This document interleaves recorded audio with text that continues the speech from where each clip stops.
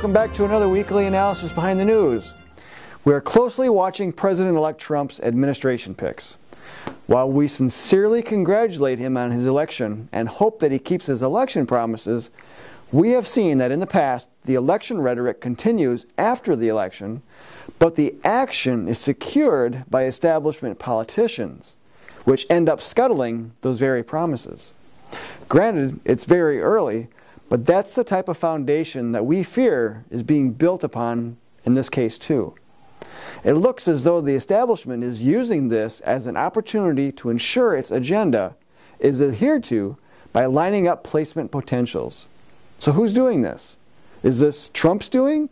Or is this Newt Gingrich's hand somehow in this by fulfilling what he said regarding his desire to be a strategic planner for the administration? Others have pointed to Jeb Bush as having a hand in this. As an aside, Jeb Bush just called for a constitutional convention to pass an amendment for term limits. Knowing what we do about Jeb, is it any wonder that he would endorse such a misguided project? In any regard, the majority of these picks do not bode well for fulfilling certain campaign promises of reining in the federal government. This is reminiscent of when Ronald Reagan first won election.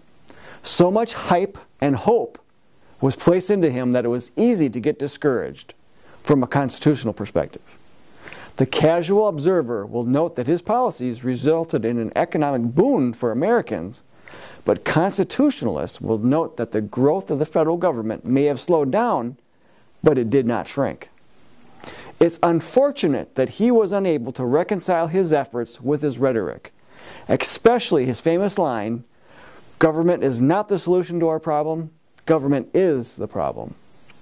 So, is this what we can expect from President elect Donald Trump?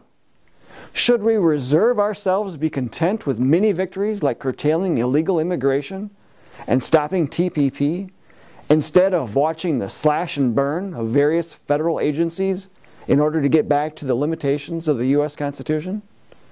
Should we recognize that the federal government is so entrenched into our daily lives that it's impossible to make big changes?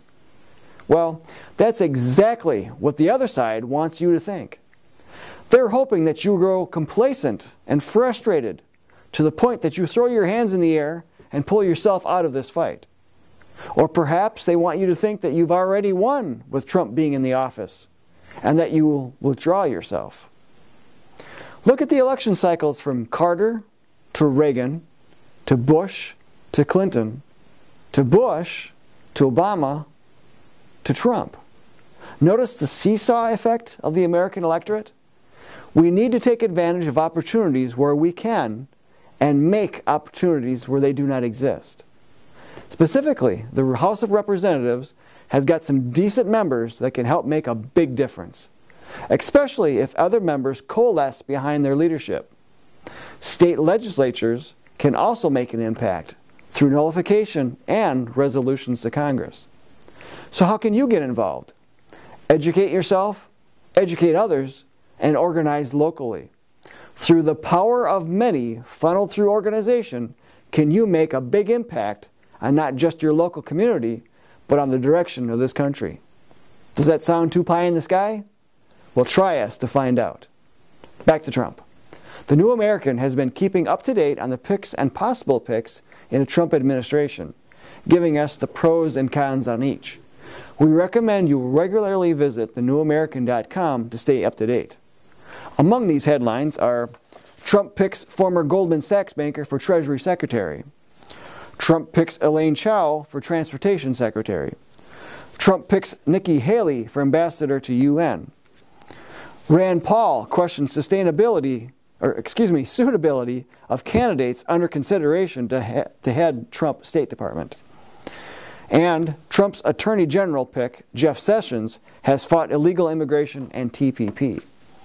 Also, the newest issue of the magazine goes in depth on why Trump won and how globalists will not be giving up without a fight. Most interestingly, it describes Trump as being more akin to a European conservative like Nigel Farage.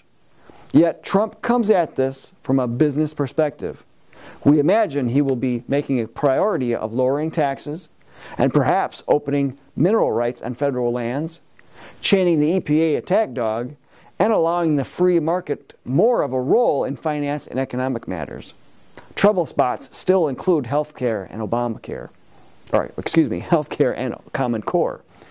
One thing to watch closely, and that is who Trump surrounds himself with, even beyond cabinet picks and advisors. Will establishment types like Paul Ryan, Mitch McConnell, John McCain, Lindsey Graham, Newt Gingrich, and Jeb Bush have much of a role?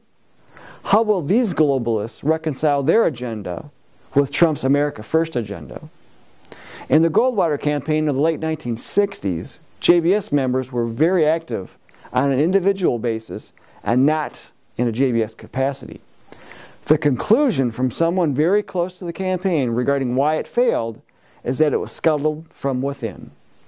Professional establishment types were brought in to help channel activity, but those who were solid constitutionalists were not allowed to serve in leadership positions for the campaign, nor would constitutionalists running for office be promoted by the party unless they were forced to for one reason or another.